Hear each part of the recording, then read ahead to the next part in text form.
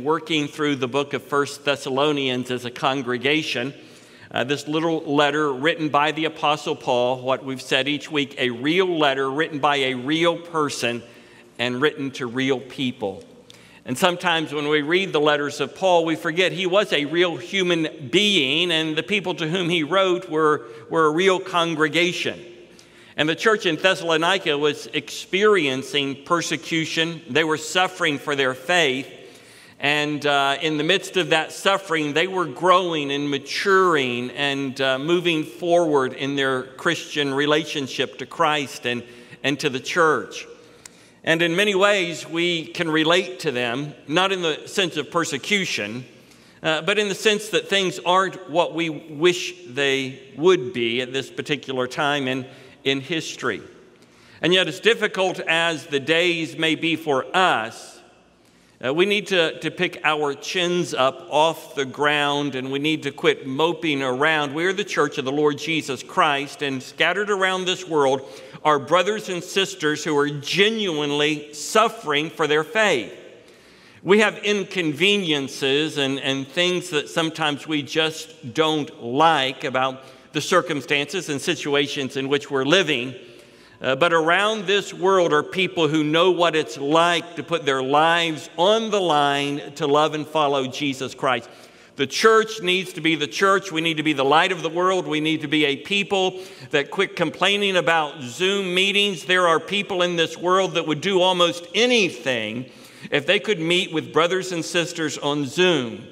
We need to quit focusing on what we can't do, and we need to give glory to God for all of the things we can do. We not, may not be able to gather together as we typically do in our Bible fellowship groups. We can do it on Zoom, but small groups can gather together, two or three brothers and, or sisters, and gather together for coffee, uh, however they feel most comfortable being able to do that. There are things we can do, and we ought to take advantage of those, of those things. So we turn our attention to 1 Thessalonians chapter 4 this morning to a section where Paul begins to strongly exhort the Thessalonian Christians about Christian living. And in chapter 4, verses 1 through 8, I want to talk with you this morning about the will of God. This is the will of God. Now, there are so many things about the will of God that we struggle with discerning because God's word doesn't specifically address to us, should I buy this home or, or that home? But God's word does give us principles to guide us. We should buy a home if we're going to buy one that we can afford, where we're not going to be house poor, that's not going to put undue pressure and stress on our families. We know principles that can guide us. We have wise brothers and sisters who have walked with Jesus much longer than we have, that are very wise financially we can go to them and we can talk to them and we can, we can pray about God's plan and God's will and discern, okay, should I go in this direction or that direction, maybe with the purchase of a home? But much of God's will is clear, it's definitive, it is, it is right before our eyes in His Word, and, and we see that this morning in this passage. I want you to notice with me in the, in the opening verses God's pleasure is our guiding principle. That is, as we're making decisions in life and as, as we are thinking about choices that we're to make, well, uh, particularly ethical choices, God's pleasure needs to be our guiding principle for living. Look with me beginning in verse 1. Finally, then, brethren, we request and exhort you in the Lord Jesus that as you receive from us instruction as to how you ought to walk and please God, just as you actually do walk, that you excel still more. Now, you'll notice he says finally, it sounds like a good Baptist preacher, but actually he means in addition to. Uh, he's not ready to wrap up the letter. In fact, he's only about halfway through the letter. And he reminds them that they are in a covenantal relationship, they are in a family relationship. Though he uses the word brethren, we understand that he's speaking to brothers and sisters in Christ. He's writing to the church made up of males and females, brothers and sisters who have put their faith in Christ. And he is exhorting them and encouraging them about how they are to walk. Uh, the idea of life as a walk, it's a Semitic idea, it's a Hebraic idea, it's a, an idea maybe we're not familiar with, but, basically it means we live our lives moving forward. Uh, he describes life as a walk because we should be headed somewhere. We shouldn't just be walking around in circles. We shouldn't just be standing still. We ought to be moving forward, particularly in our spiritual lives. So, as we are living our lives and we are seeking to make decisions on a daily basis, our decisions should be guided by that which pleases God. And so, when we get ready to have a discussion with our spouse over a very tense issue or a tenuous matter, we need to make sure my speech, my tone, my content is pleasing to God. So if I'm not speaking to my wife in the right tone, if I'm not speaking to my wife in the right way, it's not pleasing to God, then I need to change the way that I speak to my wife. My, my words, my thoughts, my demeanor, my disposition, it needs to be pleasing to God as you walk and live life. And then he goes on and he says, parenthetically, just as you actually do walk, or just as you actually do live.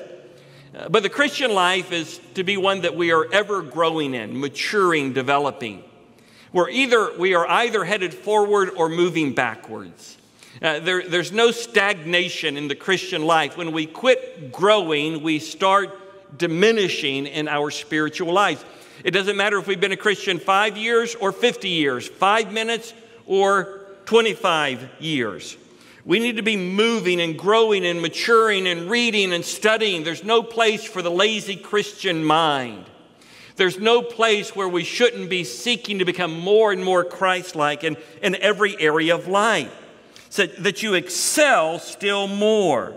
So we, we, we have Christ as our goal, pleasing Him as our motivation, uh, but we need to be growing and maturing and developing in that.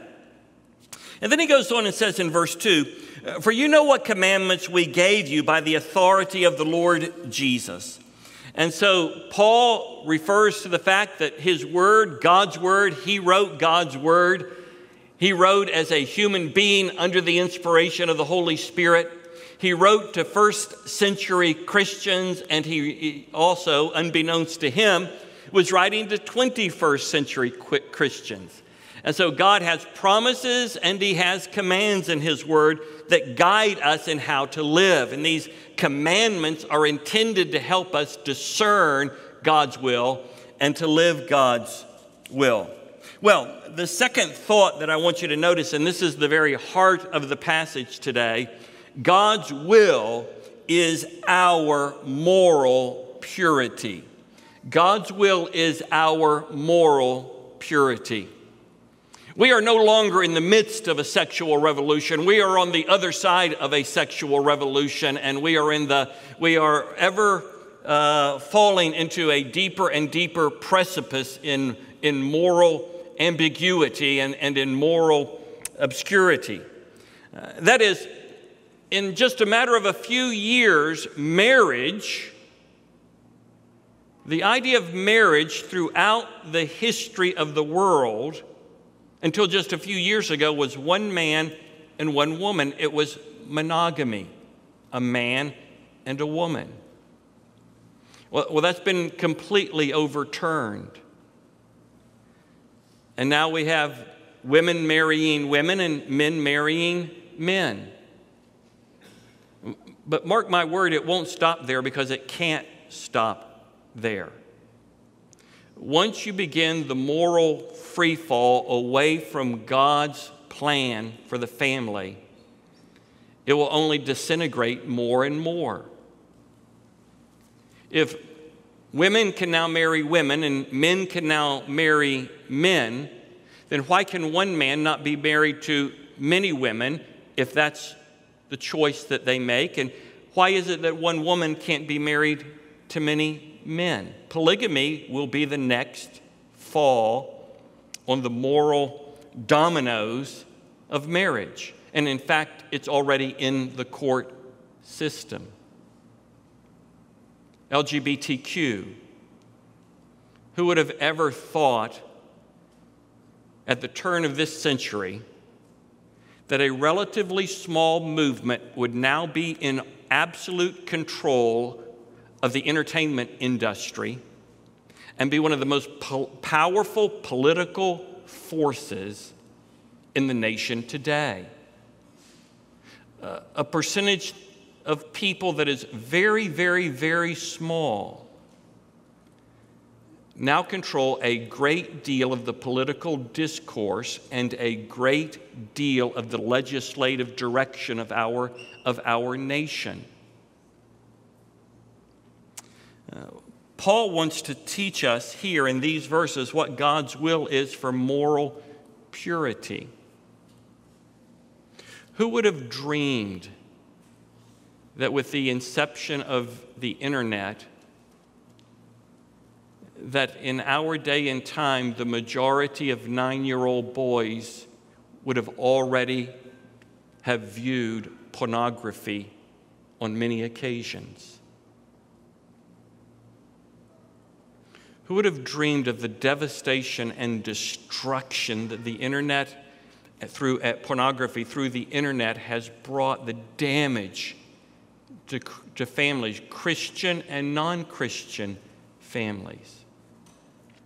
We live in a moral war, and God has given us guiding principles that can help us navigate a world filled with moral minefields.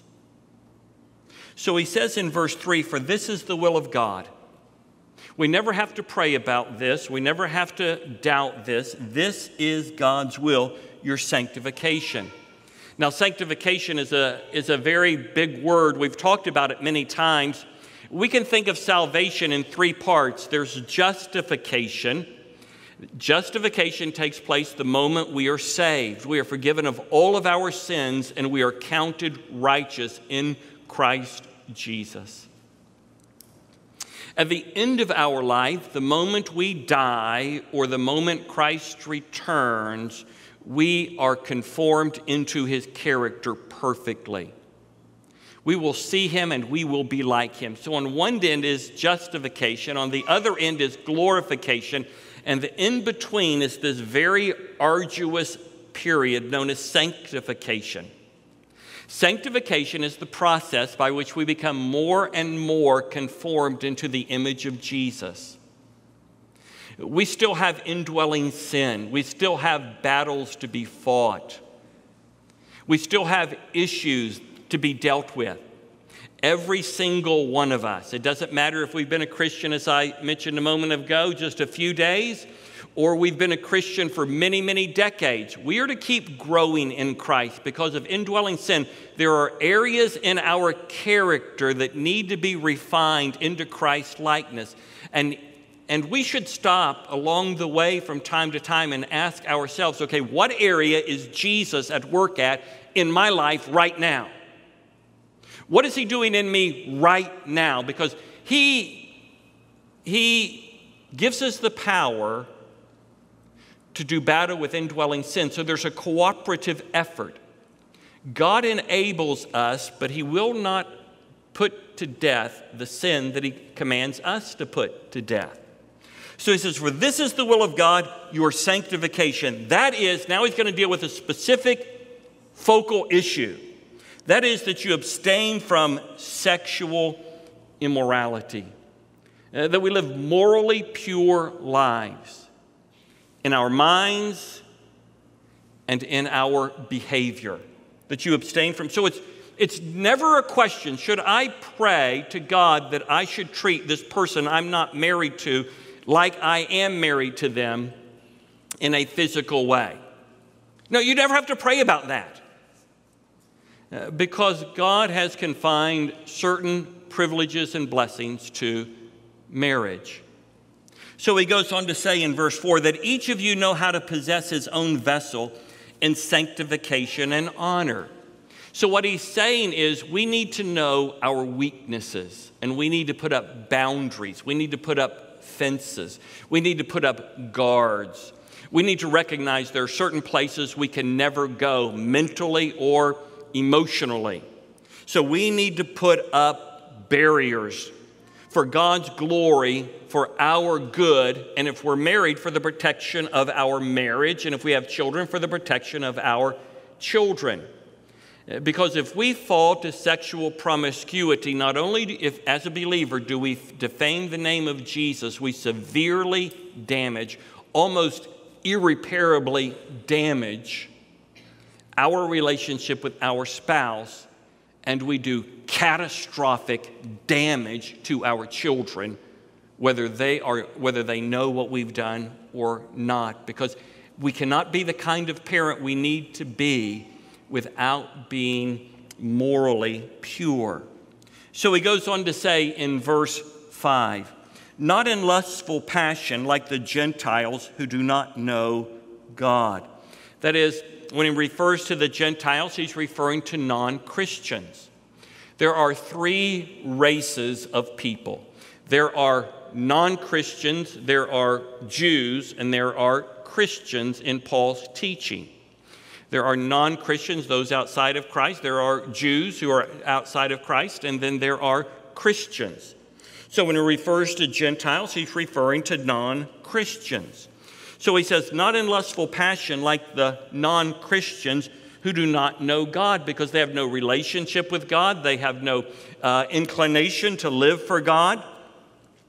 And that no man transgress and defraud his brother in the matter. That is, that we don't defraud someone, we don't, we don't sin against someone in the matter of, of moral purity, because the Lord is the avenger in all these things, just as we also told you before and solemnly warned you. Now, he's writing to a people, many of whom have been saved out of paganism. They worship the gods of the Greek pantheon, as we've talked about. And a great deal of ancient idolatrous worship involved temple prostitution. And the immorality of the ancient world is very commensurate with the immorality of our world. There's not a great deal of difference between their immorality and, and our immorality. And so he's warning them that God will not sit passively by, but God will punish and discipline those who fall into sexual sins. Now, he'll do it with all sin, but he's focusing right now here on more on the issue of moral, moral purity. And he says, I've told you this. And in fact, he says at the end of verse 6, I've warned you about this. The Lord is the avenger. Now, we shouldn't take all of the bad things in life that happen to us as an indication that God is punishing us. We live in a fallen world. In a fallen world, bad things happen to good people. But God is so committed to us that if we are living contrary to His will, in a particular area of our lives, He will discipline us because He loves us. And sometimes we should just stop and think all right, are, are the circumstances I'm facing unique to me? And are the circumstances I'm experiencing possibly God's chastisement because of the choices that I'm making? because of the movies I'm watching, the websites I'm going to, the thoughts that I'm allowing to roll around in my mind that are uncontrolled. God will punish His people for their sin because He loves them, just like any good parent disciplines their child. So he goes on and he says in verse 7 For God has not called us for the purpose of impurity, but in sanctification. And so God's will is our moral purity. Uh, but I want you to notice, thirdly, in verse 8, God's gift is the Holy Spirit because we may wonder, how can I do this? We live in a morally corrupt world. We live in a world where the television commercials nowadays would have been considered very, very inappropriate just 10 or 12 years before this. We live in a world where moral degradation is exalted as a virtue rather than a vice. How can I live in a fallen world and remain morally pure? Let me say, you can't do it without a fight. And you can't do it without God's Spirit. But notice what he says in verse 8. So he who rejects this is not rejecting man, but God, a good God who gives his Holy Spirit to you. So God gives us his Spirit to empower us to make godly choices in the area of moral purity. He, give, he gives us his Spirit to convict us when we make a step in the wrong direction. He gives us His Spirit to discipline us so that He can bring us back to the place of moral purity. Well, well let me sum it up with just a, just a few final a few final thoughts this morning as we think about these ideas related to God's gift is the Holy Spirit, God's will is our moral purity, and God's pleasure is to be our standard. The first is this if you have fallen or are in the midst of moral impurity, and I choose my words carefully because we do have, we have children with us. If you have fallen into moral impurity, you're living in sin. God will not bless your life. God will not honor your parenting or your marriage. God will not guide you to the mate of your choice, one that would be that, that would help you and please you and be a, and be a help to you spiritually if you're living a morally impure life. But God will forgive you. And God can rebuild your life. He can rebuild your marriage if you're married. Uh, but you need to come to Christ in confession. And then, if you're a man, you need to find an older brother in Christ. If you're a woman, you need to find an older sister in Christ that can speak truth into your life. God will forgive you if you are his child. Don't hide it. Satan wants you to hide it. Don't hide it. Second, Guard your eyes. Because your eyes are the pathway to your mind, and the mind is the highway to your heart. Guard your eyes. Make a covenant with Christ that you will guard your eyes. The eyes are a pathway to the mind. Paul taught us to take every thought captive to the obedience of Christ. What we see, what we gaze at, makes its way into our mind. And then what we allow to roll around in our mind becomes a highway to our heart. And Solomon said, Guard the heart, for from it flow the issues of life. He should have taken his own advice. He was the wisest man on the earth, and he fell to he fell to moral impurity. And because he fell to moral impurity, his days ended in degradation and filth, and his life became an abysmal blight on the kingdom of God. And so, secondly, guard your eyes because your eyes are the pathway to your mind. Your mind is a highway to your heart. Take every thought captive don't allow these thoughts to find a home in your mind because the thought is always the father of the act. We typically we do what we th- think about, except sometimes speaking to our spouse. We, we do what we think about.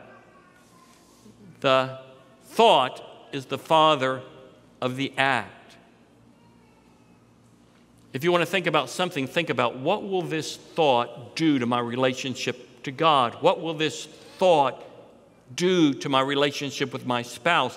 How will this thought impact my parenting of my children? Third,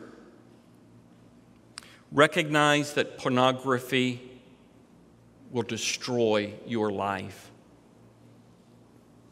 Whatever momentary pleasure it may bring to you, pornography will destroy your life. It will, it will make you less than the person God wants you to be. It will cause you to be less than the person you want to be. And all of the studies indicate that it is as addictive as cocaine.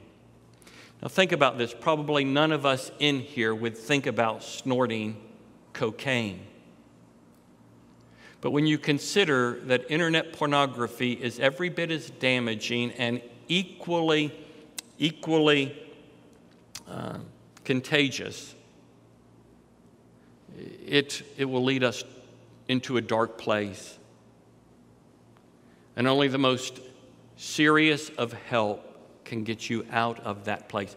Now, the great news to the glory of God God is greater, God is stronger. And He will help you by His Spirit as you begin to fight against it. If you're a man, find an older brother to hold you accountable. If you're a sister, find an older sister to hold you accountable. If you have to get rid of your television and your internet, get rid of it. Your family is at stake. Fourth,